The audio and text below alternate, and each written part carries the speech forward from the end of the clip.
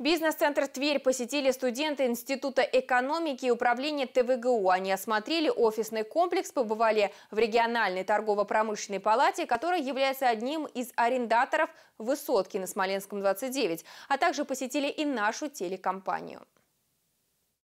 Бизнес-центр «Тверь» на Смоленском 29 – один из самых известных офисных комплексов Верхневолжья.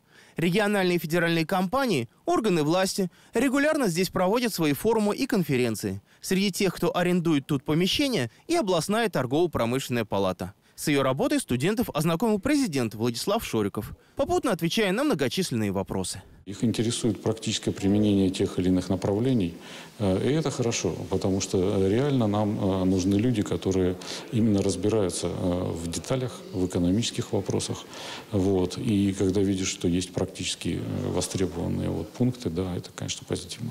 Среди участников экскурсии был и Алексей Колосов, который уже сейчас знает, что не хочет писать трактаты об экономике в кабинетной тиши, а начнет свой бизнес в сфере информационных технологий.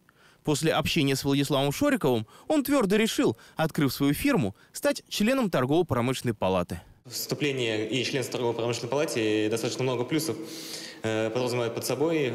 Та же самая оценка продукции, которая производится торгово-промышленной палатой, это э, является неоспоримым фактом, даже если приходится обращаться в суд. Поэтому да, конечно. В завершении экскурсии студентам показали еще и новостные студии нашего телеканала, что тоже может оказаться полезным. А вдруг кто-то из этих ребят решит заняться бизнесом в медиасфере, что было бы хорошо для развития Верхней Волжья, учитывая важную роль СМИ в формировании гражданского общества.